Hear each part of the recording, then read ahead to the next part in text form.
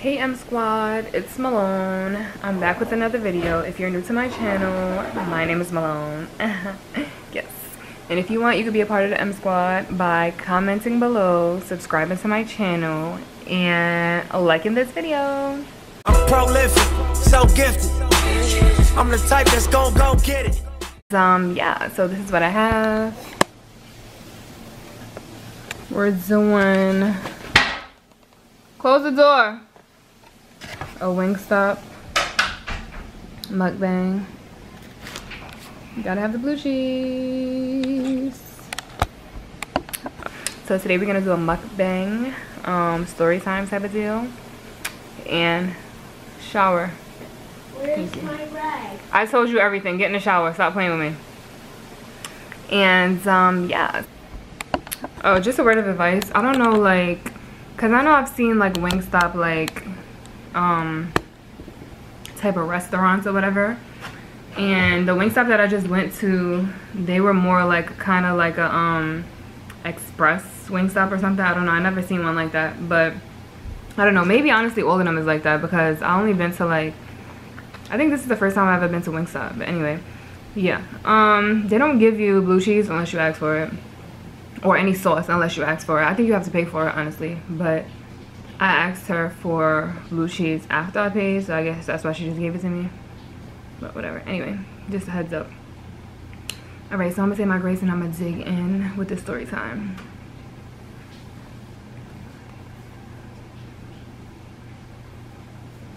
Amen. Alright, so basically, as y'all can see from the title, should I, it's weird because it's like, should I show the food or not. Like it's like a weird. So yeah, anyway guys, so I'm gonna tell you guys um about the time that I actually ate edible.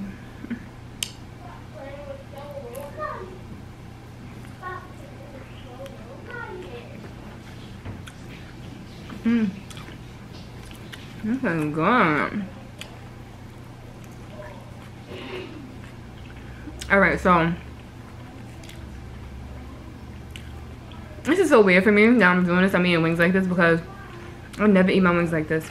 Literally, like I eat my wings like this, like taking off the meat off the bone and eat it like this. So the fact that I'm eating it like this, especially on camera, like this is so weird for me. I'm hungry as hell though. So anyway, um. So as many of you may know, if you have been a supporter for a while, you know that I used to work at Applebee's. And working at Applebee's, I met some really good friends, like some really good people. Um, I started off as a hostess, and I worked my way up. Server a bartender. And um, as a hostess, we used to do pure foolishness, like OD. So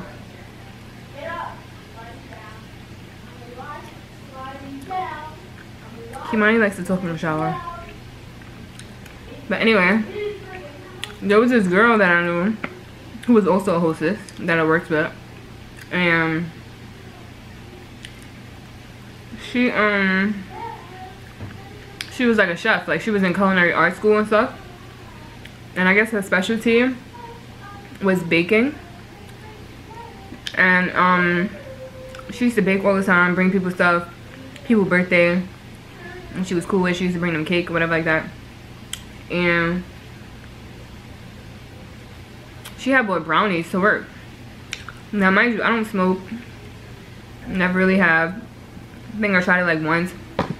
It made me mad paranoid. I never tried it again. I said never again, never again, never again in my life. Um, so, like, I'm not about that life. So she brought brownies to, um, to work and she shared with everyone and they well, these are hot as hell. She was like, oh.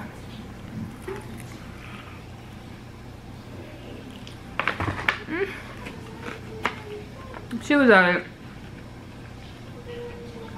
mm. lemon pepper wings are so good. Like they slap OD. But anyway, So I remember her saying like, oh, you only need one, whatever like that. She cut them in like little square pieces or whatever. And everybody was like taking one. Mind you, in the restaurant business is a lot of like it's cash flow. So a lot of drug users work in the restaurant business as servers because it's an easy way to make money to support their habits or whatever. Just keeping it real. Um, if you know, you know. So um she was like like she cut it in little small pieces whatever like that and then she was like giving it out sharing whatever like that she was like here she gave me one whatever. I just ate it like it was nothing. I was like oh my god this tastes so good. Because i already tasted her food so i already know like her baking skills was like up to par od so i ate one or whatever. So then she put the rest under the hostess stand it's like a little closet. We used to like have food there drinks there like hot and stuff or whatever from the managers. So she um she had put the rest that she had under there. And when she had walked away to go in the kitchen for something i think she went to get a drink or something. I like took another square. Because i was like oh my god this is so good. And as as as a restaurant employee you know like we don't really eat like that. Like it could be 12 hours that go by you don't eat nothing unless you like stealing fries out the kitchen or you got like some type of hookup or a guy in the kitchen you know that's hooking you up that care about you or your man work with you whatever the case is.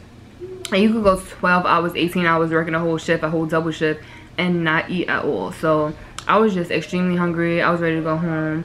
And like I said, I went under like there took another like piece and like ate it whatever. Mind you i had no idea that this was an edible like a wee brownie like at all. I was just like this just tastes mad good whatever. So see she she sees me chewing and she got back. And she's like you took another one? So i'm like yeah so she's like you don't need another one. Didn't you already have one that i so i'm like hmm, why are you bugging out? Like not that serious. But she's like no i just don't want you to like bug out. I know you don't smoke. I'm like what do you mean? She this girl gonna say those are wee brownies. I'm like what? She's like yeah those are wee brownies. I'm like you're bugging she wasn't bugging she was dead ass serious automatically I'm thinking like, oh my god, I'm bugging out. Like, why didn't you tell me? I thought you knew we were all talking about it, blah, blah, blah, whatever. No, because when y'all was all talking about it, I was too busy doing my job. Like, what you mean? So, I started getting paranoid already. Because I'm like, I don't know how I'm to feel, blah, blah, blah. I'm just thinking about, you know, this first time, like, I had, or whatever. So, I'm just like, wow, this is crazy. But she like, oh, just calm down, you're gonna be fine, da, da. It's like a different type of high, whatever. So I'm like, okay, it shouldn't be that bad. She's saying it's not that bad. Shouldn't be that bad. Boy, when I tell you, it is a different type of high. It is a different type of high. And I mean like, in my opinion, worse. Like, worse. Hands down. I don't care what nobody say worse. So, so, um, I would say maybe like an hour passed by. It was like coming towards the end of my shift too. And it was a Saturday night. And Saturday nights are always busy. And I was like, oh my gosh, I'm gonna be here all night. I had already agreed to, agreed to stay past the time I was supposed to. So I was like, at least I know that I'm first cut, but the bad thing about it is that you just really don't know when you're leaving. You don't know when you're going to be cut. So, I just started to kick in. And boy, oh boy, I was bugging. So, before I got to work, my gas light was on. Literally, I worked like maybe like a seven minute drive, maybe a five minute drive from um, my house. So, my gas light was on for a minute already. When I came to work, I was already late. And, um, no, I was gonna be late. I wasn't late. I was gonna be late. So, I was like, you know what? My gas light is already on. I can't stop for gas. Like, I'ma just go and, um, go straight to work and fill up my tank when I leave work. And it was a gas station not that far. So After I started feeling it, I just wanted to leave. And I was just like so miserable because I was bugging out. I didn't want to walk any table, any um guests to their table. I didn't want to greet nobody at the door because I thought that they knew that I was high. Like, just mad stuff was going on. It was just so bad. It was like really bad. So, different people telling, like laughing. Different people telling me drink milk to come down. Like, it was just really bad. So, and I, I felt like everybody that I came into um, contact with, like, knew. So that's what made it even more, like, bad because I'm at work. Like, my manager see me and think something, you know, like, um, I remember I was like, after maybe like two hours of me working while feeling that way,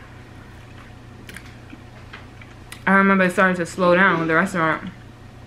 And my manager was like, I'm gonna go home. I said, what? I ran out of there so fast. I went under the little cabinet thing, got my coat out, put my coat on, and dipped. I didn't clock out. I didn't say bye. I was out like Audi 5000. I was out like, well, like, so I dipped. I went to my car, sat in my car for a little bit, heated up my car, trying to mentally prepare myself for this little five minute drive. Mind you, I didn't even notice that the gas light was on when I left. So I'm driving. I get I get maybe like three blocks down. While my car shut off. I'm like, what is going on with my car? Like, it was an old car because that was like one of my first cars that I ever got. No, that was my first car I ever got. So, and it was an old car. So I'm like, why is my car shut off? So now I'm just like, oh my god, da da da. What's going on? Like, I literally stopped in the middle of the street of like, like a two-sided street. And it wasn't like a crazy busy street, but it was like a known street. Like, people be taking that route. But and if I double park, like I would be sitting in front of like blocking somebody's driveway or something. So I'm just like, yo, what is going on? But when I started slowing down, I kind of started like to kind of pull over some or to get off the street because it was like cars behind me and stuff. And I started slowing down out of nowhere. So I didn't know what was going on. So I'm like, what the hell? So then I remembered, oh snap, I had to get gas.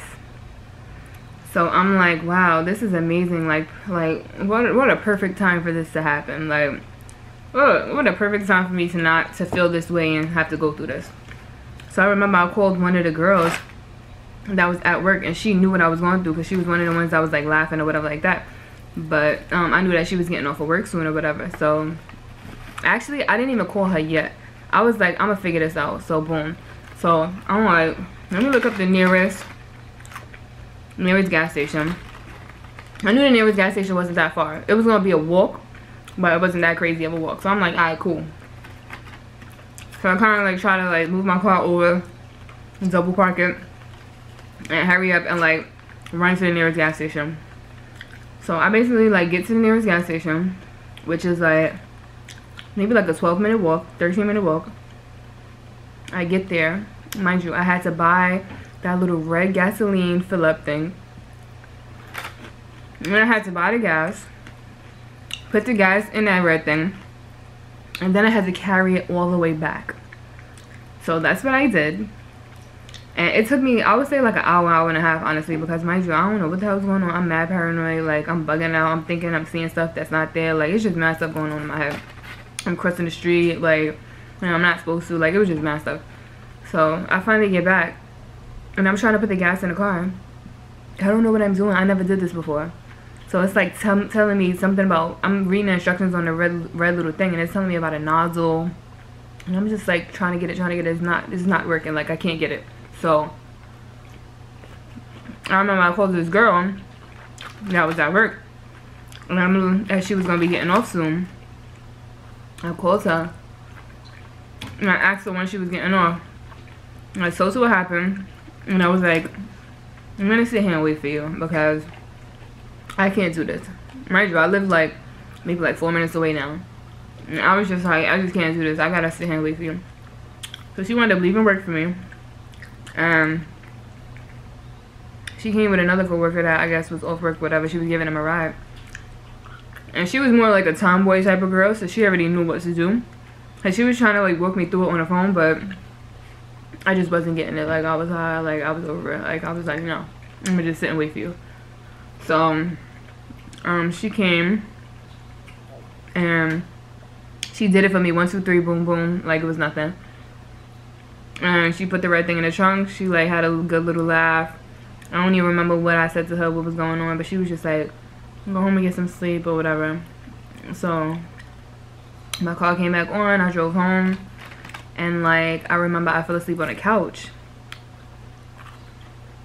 While I woke up like 10 hours later, I was still high. I was bugging. Like, somebody had called my phone. That's how that's how I woke up. Somebody had called my phone. It was like the next day. Somebody called my phone and was like, "Oh, do you drive a um a Nissan Sentra, a blue Nissan Sentra, baby blue, blah blah blah." And I'm just like, oh my gosh, who is this? I'm thinking somebody stalking me. I'm thinking somebody following me. I don't even know who it was. It was just like a lady on the other end of the line. And like, I don't know if she had said something about, oh, this is the insurance company or what. I don't know if it was a scam, but I just started bugging out like, oh my God, somebody's following me. They know what color car I got, da da da da. Like, I was just bugging out in my mind like OD. So, I hung up on them and I was just like stressed out. And my sister was telling me the same thing about the milk thing, and I'm just like, okay, like everybody's saying this, let me just do it. So I started drinking mad milk. And I feel like it just made my stomach hurt. Like it didn't help me at all, honestly. And then I went back to sleep. I don't know how long I was asleep. But I was asleep for a good like maybe like the whole day, the whole next day, honestly. Woke up.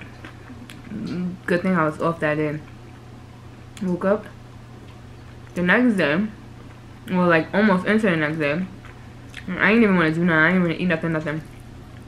I wasn't high like as high at that time the next day but i just wasn't feeling it. I was just like this is crazy like i can't believe this happened.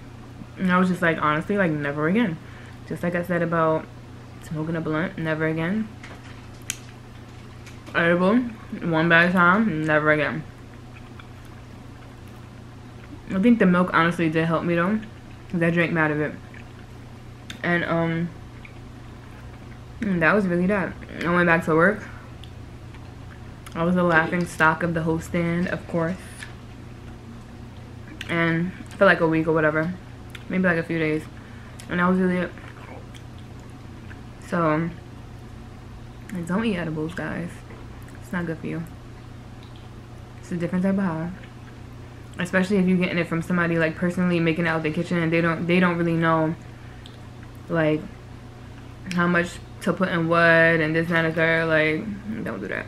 If it's from a professional and you know how you know how much is in it and this and that and it's gummies and you're into that type of stuff and you can tolerate it then whatever to each his own. But somebody that's making that out the kitchen and you a first time or you never like you know?